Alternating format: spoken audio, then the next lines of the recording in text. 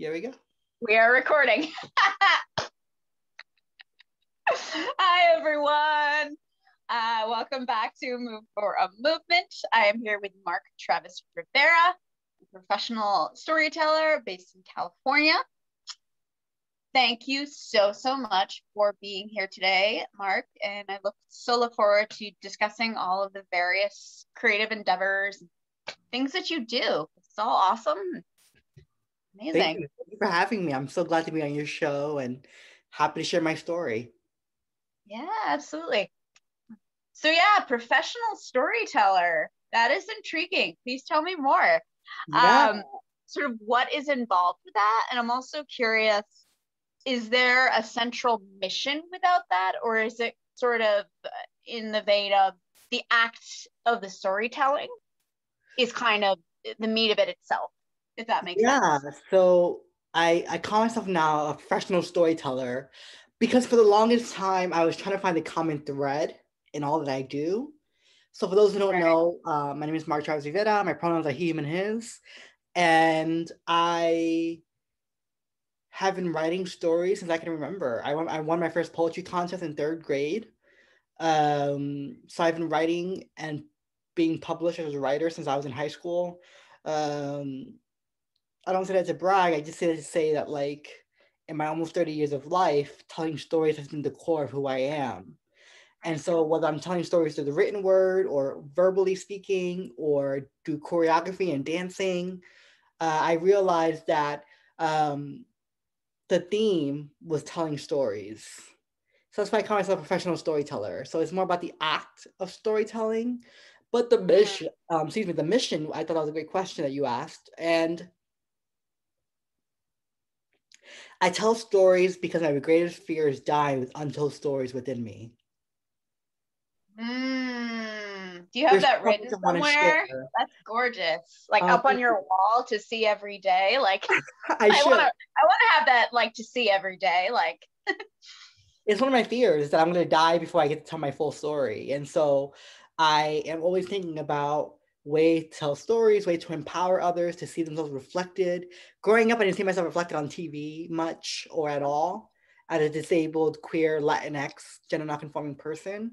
So not that I want to go into TV eventually, but I want to impact and make people mm-hmm. see that their self their their stories is possible which is why i have my first collection mm-hmm. of poetry and essays drafts and a perfect collection of writing is available on amazon and i wrote that book and self-published because i wanted young people to see themselves reflected in my story Hmm. That's a, a huge and very important conversation right now about whose stories are being told, who gets to tell them, whose stories are we not telling, and Mm. what is the large scale effect of that right in, in our society. Yeah. Absolutely. Mm. So you're doing the work. That's amazing. Thank you i'm doing the work um trying you know i, I think um there was a time in my life when i felt like i had to choose between dance and writing Mm. And now I feel like I can just exist. I don't have to choose one over the other. They're all equally important. I also have a podcast. That's another form of storytelling Mhm. called Marking the Path. So Mm. I don't have to choose anymore. I can just be. Hmm. And all these things that you do, it's you being, it's part of you because it's all that storytelling. Yes, exactly. I love it. Thank It's you. interesting, you know, to think you also are an activist. That says on your website, activist, speaker, and, and speaking as well. It's like, and I've heard so many times just being in the organizing space in activism, like the effective approach is storytelling. Like tell this story. That is what grabs people. So that I also found interesting in that that vein of, of storytelling. That's also, you know, part of what you do and, and demonstrating the power of storytelling and how you put it forward out there. Absolutely. I mean, I love the quote by Dr. Brene Brown. Anyone that knows me knows I'm a huge fan of her. Um, for those of you who haven't read her books, huh? She's the queen. Yeah. She's the queen. Go on. Um, for those of you who haven't checked out her work, please check it out. It's so worth reading and listening to. She has two podcasts out. She doesn't hire me to promote her. I just because her work changed my life, so I just talk Mhm. about her so openly. Um, but what I will say is that, you know, she says maybe stories are just data with a soul. Mm. Mm-hmm. Yeah. You know, so stories yeah. are a way we connect and tell and share data and share information and and, and at the core of stories is this is connectivity. Mm-hmm. Mm-hmm. And it's it's so interesting knowing just about her life and coming through through grad school and sociology. She did social work. You know, yeah. there was this this like qualitative research is is soft. You know, it's feminine. It's not the hard science and you know coded masculine and, and the the sort of gender norms and power structures kind of implicit in that. That's what she experienced. Um, so it's in, I hadn't heard that before. Um, that she said that, but it's it's like in line with knowing her story. That's that's really interesting and that's really powerful. Yeah, it's one of my favorite quotes from her. Um, maybe stories are just data with a soul. Um, mm-hmm. Mm-hmm. I love that. So right. yeah, there's power in storytelling. Hmm. And there's so many things in our overarching structure and our overarching society that like if it doesn't have data like the hard numbers it's not validated. Like holistic forms of healing because they don't have the data right now insurance won't pay for it for instance. Right. Um, but i've always said like that doesn't mean that it doesn't have that power. Um, yeah. it just yeah. demonstrates it in a different way yeah, no, for sure. And I think, you know, the reason why I gravitate towards Dr. Brown so much is because her work is rooted in data. Mm-hmm. mm-hmm. You know, there's proof, there's data that you can analyze it, you can examine it, you can touch it, you know, through a book or through whatever. And there are some thought leaders out there that are more spiritual, and that's fine too. But when your thought leadership is only only based on spirituality and not something that's concrete, I struggle with that. Mm. And also our common threads because you know there there are these common threads among spiritual systems, but we all understand them differently. So what is that thing that's a common language for all of us? You know, and I think you know Dr. Brown in her own ways and other thought leaders similar to her have captured that you know in a way that is more universally accessible, you know, resonant, perhaps. Right. Right. Yeah. Wonderful. Yeah. yeah. So speaking of your story, I know that you know you were in New York. You had um, the Marked Dance Project. You were very dedicated for that for ten years, and then you shifted course. You went um, to work for AXIS Dance Company. That's how you ended up on the West Coast. Um, so you've seen these these professional, personal transitions. Um, I'm curious about how you navigate that, you know, with everything you do and all these kind of things that come along with those transitions. How do you walk through that with, with equanimity and, and calm and presence? Um, it's interesting because if you'd have told me even five years ago that I would up and leave the East Coast and take a job in California, um, while it was always a dream to live in California, I never thought I'd actually live in California. Uh, uh-huh. My relationship with AXIS started in 2013. I was an apprentice for them. Mm-hmm. Uh, at the time, our founder, their founder, sorry, I don't work there anymore. So, um, uh-huh. yeah. their founder, Judy Smith, invited me to be an apprentice. And that's how the relationship started. And I've maintained a relationship with AXIS throughout the years in various capacities. I was part of their choreo lab, their inaugural choreo lab in 2017 or 2018, I should say. Uh, I'm great mm-hmm. friends with Marc Brew, their director, and I was part of the convenings and different things like that. So I always had a relationship with AXIS ever since I was an apprentice.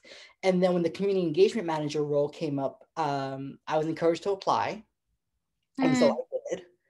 I got the job. I moved to California. About a year, a few months into the role, um, there was a, a, beginning of a mass exodus at the organization. So mm-hmm. the executive director announced that she was leaving. The marketing associate announced they were leaving. Development announced they were leaving. And then operations announced that they were leaving. Um, so it was a mass exodus. And it was just Marc Brew and I, the two Marks. And then we had consultants helping us, and we had all these different things going on. And so I like to think that I came to the organization at a very critical time in its history. And mm. then and then COVID hit. And COVID mm. drastically changed my job. And so, you know, like you said, I ran Marked Dance Project for 10 years. I started in 2009. It ended in 2019. And the reason why it ended is because I felt like it was either going to be the five year mark, the 10 year mark, the 15 year mark, or the 20 year mark. And I knew I didn't have it in me, no pun intended with the mark. Um, I knew I didn't have, I knew I didn't have it in me to continue for another five years with running a company. It's a lot of work. And so mm-hmm. I joined mm. AXIS the hope of growing and changing and evolving. And then all these changes started happening with COVID and the mass exodus at AXIS. And I realized, you know, through the DILT program, the Dance Institute for Leadership Development and Training, through Dance USA, that I didn't want to become an artistic director of a company again. Mm-hmm. And that I didn't want to do dance work full time. Mm. So. I started applying for jobs and I applied for a consulting firm called Nico White Consulting that does diversity, equity, and inclusion work. And I share that because I think oftentimes as artists, we think we have to pigeonhole ourselves into one area. Uh-huh. uh-huh. And my career is proof that the pivot is worth it, you know? And so I've pivoted out of higher ed to do dance work full time. And then I did dance work for a little bit and I was like, oh, don't want to do that full time. So I pivoted again to do DEI work. And it's my first week on the job at the time of this recording. And I'm having a blast. That's amazing. Yeah. So um, you know, I always tell people you have to be able to embrace change. Now, me five years ago, I would never even think about embracing change because I hate change and I still hate change. But what I realized that change is necessary in life if you want to evolve and grow. Mm-hmm, mm-hmm. Right. So yeah, I mean, it's by yeah, it's biologically primed in us yes. to because consistency and certainty equals safety in terms of like how we evolved, right? Yes. Amen. But in this modern world, yeah, without change, there is not growth. If it's the same, like by definition, like things are not changing. like it's just, it's just flat. You're not like you're not evolving as a human, right? Right. No, um, yeah. I think also something else interesting that you brought up. It reminded me. Um, I'm not sure if you've heard of the um, uh, what's it called? Words That Move Me podcast. Um, no. The, yeah, the, she this uh, famous choreographer. She's choreographed for like Justin Timberlake and, and all these big names. Um, oh. Yeah, she has on all these kind of thought leaders in dance. And at one point, she was talking about like a lot of dancers do think, like you were saying, like I need to be a dancer and this needs to be 200% me and like all I do and eat, sleep, breathe, dance.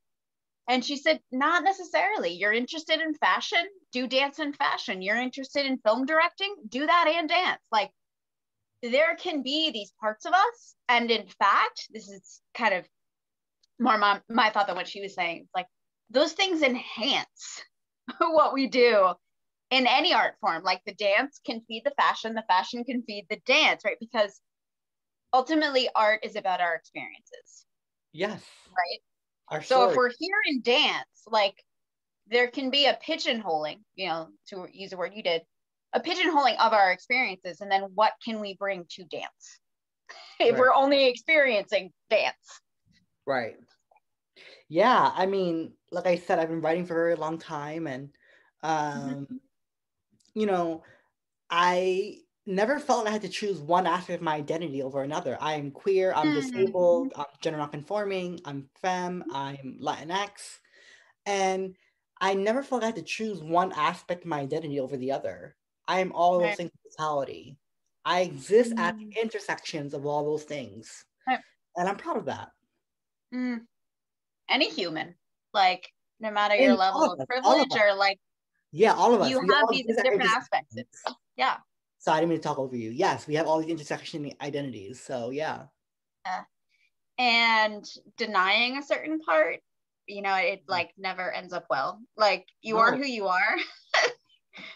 and we can change in certain ways through our lives through like mm-hmm. you know either intentionally or unintentionally for good or ill but like there are certain immutable parts of us that denying them never works never well, works well Dr. Brown, not to keep bringing her up, I apologize. I, I know all my friends. I love it. Go ahead. Um, she says that unused creativity is, is not benign, it's dangerous.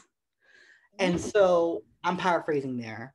But this idea here that if we deny an aspect of ourselves, it doesn't just disappear, it will manifest into depression, um, addiction, grief, sorrow. It'll become all these things that you don't want it to become.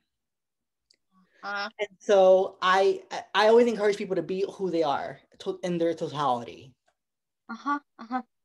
Yeah, it makes me think I was speaking with another artist who had done a lot of work with a community-based um, theatrical arts, like they did theater and musicals and dance um, organization. And the founder had always told her, for for humans, there is either creation or destruction, and that's a little bit more binary than what Mhm. you were saying. But it's like if we don't create, that ends up as destruction. Like there are those two impulses in us, right?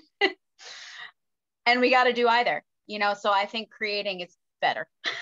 Yeah, I agree. I agree. And sometimes destruct destruction from the debris can rise something to create. You know, like Right, right, right. So- it's not. Yeah, it's not always. it's not always. I'm never always. thing. Yeah, Yeah, but I, I agree that creating is definitely a natural thing for me. I'm always thinking about what I can create next. I'm always thinking about Right. ideas. And sometimes as a Mhm. creative thinker, I have too many ideas. So I have to like pull back, you know? So, right, right, right, right.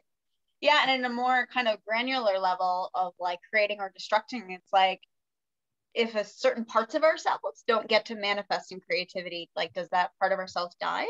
And is the signal of that, like you were saying, like those mental health impacts of like depression or grief or anxiety or Yeah. yeah, Mm-hmm. food for thought. Yeah, Mm. for thought, for sure.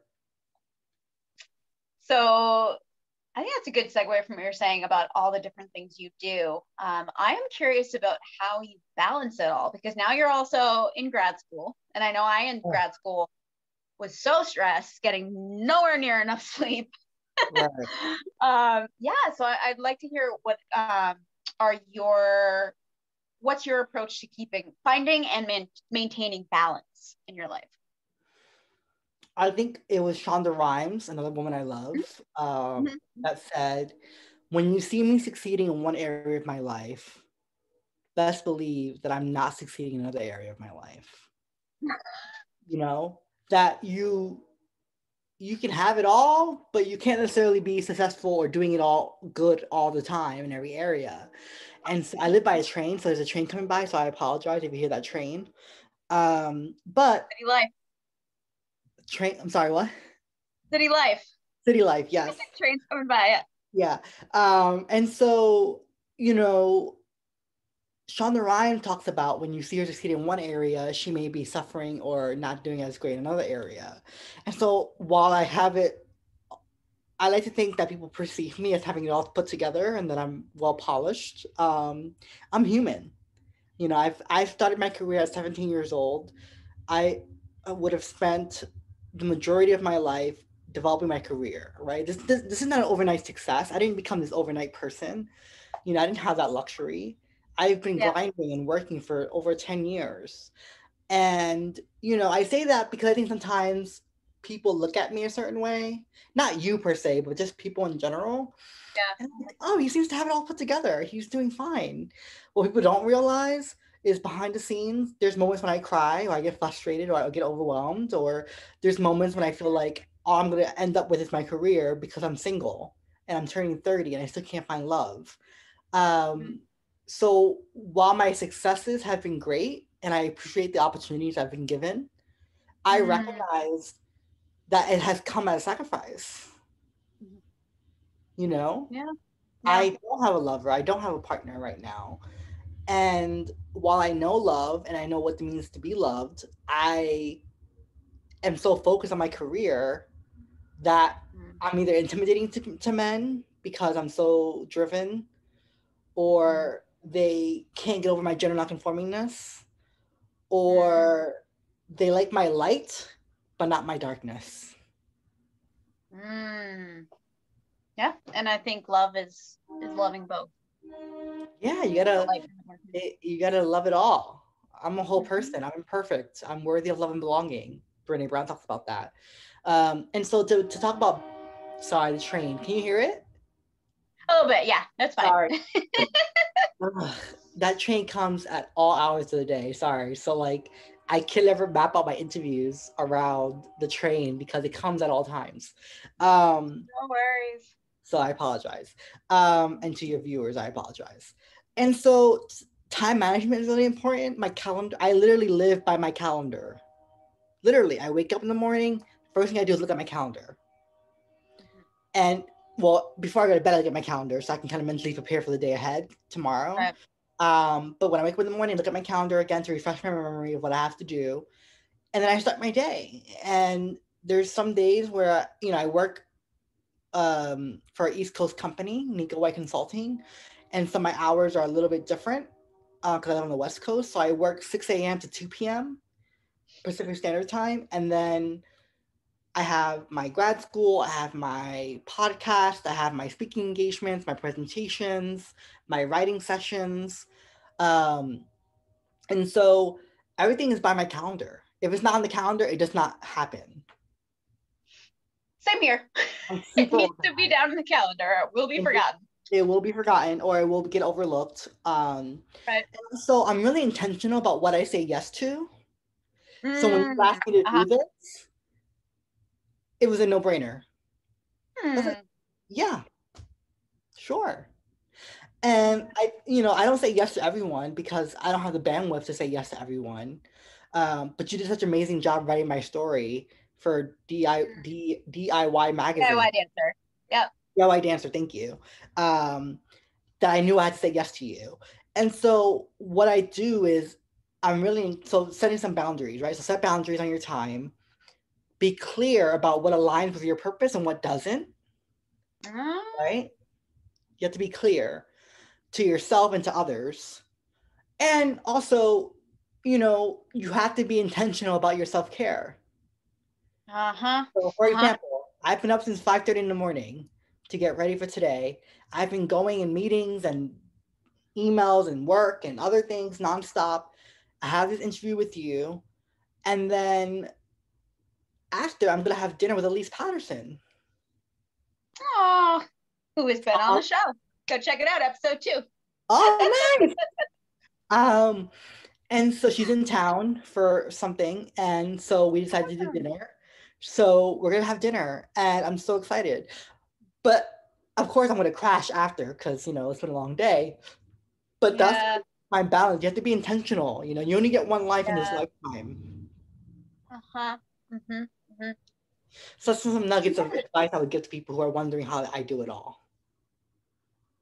I think some great just main pointers there of like calendar really helps, like get organized about it, Yeah. be intentional about what you say yes to, and make sure it aligns with your purpose.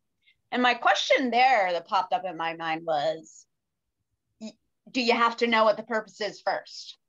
I would say yes for that purpose, for that step to work. Yes. Um, Maybe yes. that's the first step. If if you You don't know have what your purpose clear is, on your purpose. You have to get clear on your purpose. would you have any uh, guidance for people who don't know how to do that? They're confused about like, how do I find out what my purpose is? Yeah. Um, you know, the the first thing I would suggest for people is to listen to their inner Mhm. voice. Listen, Uh-huh. because deep down, the knowing is there. Mhm, mhm. But so often we allow external noises to block our ability to hear ourselves. Beautiful. Yep. So 100%. that's the first thing I would recommend is listen to yourself. Listen to what you want. You Marie Kondo your life. You know what brings you joy. You know what that spark Right. is. Right. If you're doing something that doesn't bring you joy or align with your purpose, why are you doing it? Right. It's not worth it. Mhm. you know um another thing they can do is go to therapy i've been in therapy for over 10 years and it's been my Mhm. saving grace and i have an amazing therapist Uh, and I recommend everyone to have a therapist if they can. So there's some quick pointers I would give people about how to get in tune with their purpose. Hmm. But I, I love it. Yeah, and I think sometimes people conflate career with purpose, and that's not true. Okay. Come on now, we're gonna keep it real. That's not Hmm. true. You might A be in a career- career, you know, just because of the circumstances of your life, that's not actually your purpose.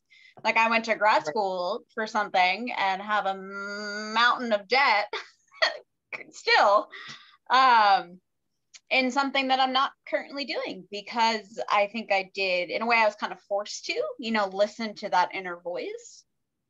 And it told me that wasn't my purpose. So I Mm. shifted course to something And that did okay. feel like you pivoted. Oh my god, you just pivoted, and that's okay. The debt, not so much, but the pivot, totally worth it. Free college. Yes, Joe Biden cancel student debt. I'm watching it, watching it every day, Mhm. coming in some form. Um, but I will say I don't have to pay anything per month because of the IBR program, income based repayment, but it's still there. Okay. That was extremely helpful. Thank you, Obama. Non ironically, but we can do better. yeah, sure. Um, so yeah, that's my advice is that your career doesn't always equate to your purpose. Right? Yeah. My purpose is easy. I know my purpose. I can say it in one sentence. Should I say it? Go ahead. I'd love to hear it. My purpose in life is to empower others to live their best life authentically. That is beautiful. Yeah. I It's- love it. It's it's what I do through my life coaching business, um, through my podcast stories. It's just my way of doing that, of helping others see Mhm. themselves. Mm, I was going to say, is this right? Is the storytelling the avenue? Yeah, yeah, yeah. Yeah, it's- Vehicle. it's the method. Mm. Mhm. What drives me is my But- purpose. I love it. So uh-huh Uh huh. All wonderful stuff. I love it. I love it. Yeah. So, um, I would love to hear a little bit more about. Actually, never mind. We talked a little bit about that. I was going to ask more about like, your day to day, but you discussed that a little bit. Like you have your work, and then you do podcasting and your life coaching and speaking, and it's a lot. But because you know your purpose, it all happens. You know, I mean, you're intentional about how you spend that time. yeah, I'm super intentional, and you know, it's about getting clear with yourself and others. Mm, 100%. And you know, ever since I did the pivot out of AXIS, my energy levels have been so much higher. And I also went, I Interesting. also went back to drinking coffee. So it could be a mixture of both of those things. But I say that to say that when you are, and this might sound like Oprah because Oprah influenced this thought. When you are not following the call of your life, you can't fully be alive. Uh-huh. Yeah. Yeah. I am doing work that fully aligns with who I am today. Not to say that I won't change again, but I'm feeling alive in a way I haven't felt in a while. Mm, it's so interesting. And it's like literally you saw that effect.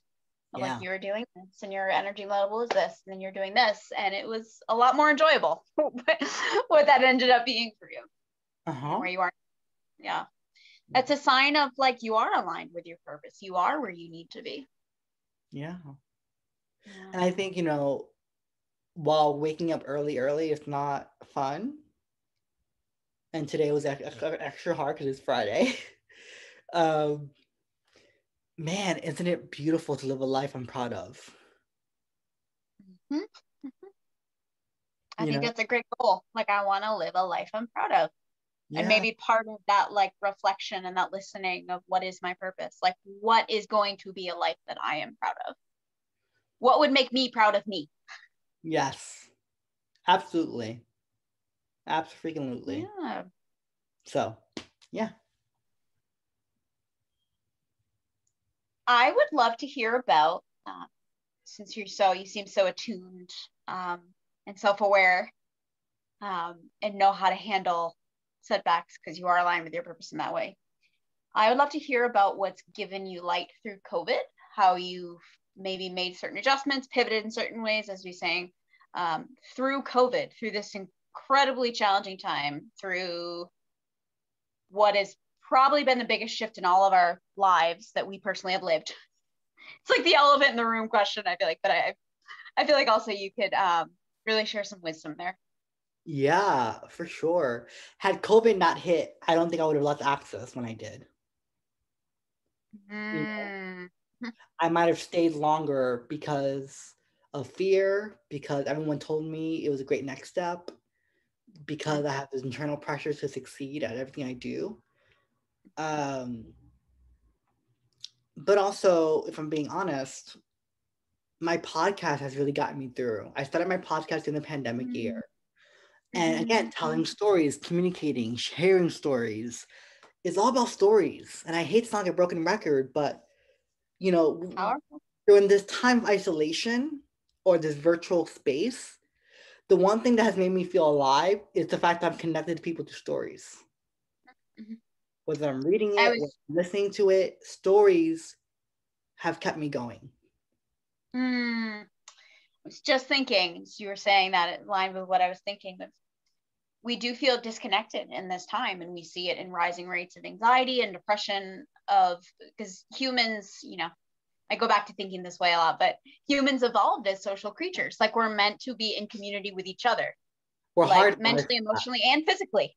Right? Like there are things in us that crave hugs and high fives and Yes. seeing each other through screens like it just doesn't quench that right um, but storytelling that's a way through which we can feel connected to humans because it Mm. brings understanding you know we understand their stories better maybe not fully you know maybe you can't ever fully understand another human because you're not them but we Right. understand another person's experience better and Right. that can bring us into connection Mm-hmm. For sure. I agree with that. mm, i love it Yeah. I'm curious uh, to sort of start to wrap up. Um, what's next? Are you thinking you're just keeping doing everything you're doing? Other kind of plans and visions you might want to share? Um, Yeah. So what's next? I just started my new job, so I'm looking to grow in that area and hopefully grow with the company. I really like the company so far. Um, I am working on a chapbook, which is a small collection of poetry called Yearning. hmm, I am looking to choreograph some more to get more commissions to choreograph, working on that. yeah. Um, what else am I working on? Um, finishing grad school. Um, and dating more. I want to make time for love. hmm So yeah, that's all I have coming up, or what I want to work on. Well, align with your intention. Part of it is self care, right? Because that because we need that to also fill our purpose. Because Yes. you can't give from an empty cup. I No. think is also another Brene Brown quote. yeah, you need to be able to to give from a full cup. and that's kind of where i'm at and you know what i think um who i'm becoming is always evolving Mhm, mhm. and i'm so grateful for that i'm so Mm. grateful that i'm that i'm more adept to change Mhm. that i'm not fearing it the way i used to Mm. I feel like life would be kind of boring if there was never evolution. if you Yeah, just I stay the same person your whole life, like I feel like how boring. yeah you can't stay the same person now whether you embrace it is different but i think life will have a way of shaking you Uh-huh. to your core and changing you whether you want to acknowledge it or not. Mhm, mhm. like this pandemic has fundamentally shifted the way we live the way we learn the way we lead the way we love. Hands down fundamentally shifted. Mm. Whether you want to accept it and embrace it is one thing but you can't deny that it has changed the society we live in. Covid has done a number on all of us. Yeah. And all these individual ripple effects, you know, like mm-hmm.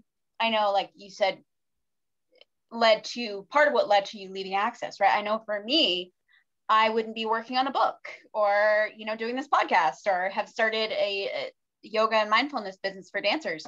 You know, I wouldn't have done that if life had been like it was in January 2020. Mm. You know? And and it's just like what are those ripple effects with that happening over and over in society? I would hope that it's going to be, you know, of all of these people finding their purpose, perhaps I would hope. Um, I think that could be powerful. I think so too. All right. Anything else you want to share before before we say goodbye? Before we say goodbye, um, feel free to connect with me on social media. I love talking to people online. You can follow me on Twitter and Instagram at Mark M A R K T R A V as in Victor Rivera R I V E R A. Uh, you can shoot me an email at mark at marktravisrivera.com. I would love to stay connected. So if you watch this video or this pod- podcast and you want to connect, feel free to follow me and send me a message. Love it. We will put all those handles and the email on your website. You have a website as well. We'll put yes. that um, when we post the episode. That'll be up. And listen to the podcast as well. Yes. Thank you so much for your time. Thank you for having me on, on your show. And I hope Thank that you, you. Something, I, I hope you got something out of this conversation. Oh, so much, so much, so many like threads and and um, food for thought, as we were saying. Um, yes, thank you, thank you, thank you for your time uh, in sharing your insights, your experiences, your story, because it matters. Thank you. My pleasure. All right, everyone. Thank you so much for joining in. Um, remember, if this conversation resonated with you, uh, like, comment, subscribe, all those good things. Share it with someone else uh, who you think it might be meaningful for. And we will see you next time. Bye bye bye. Everyone.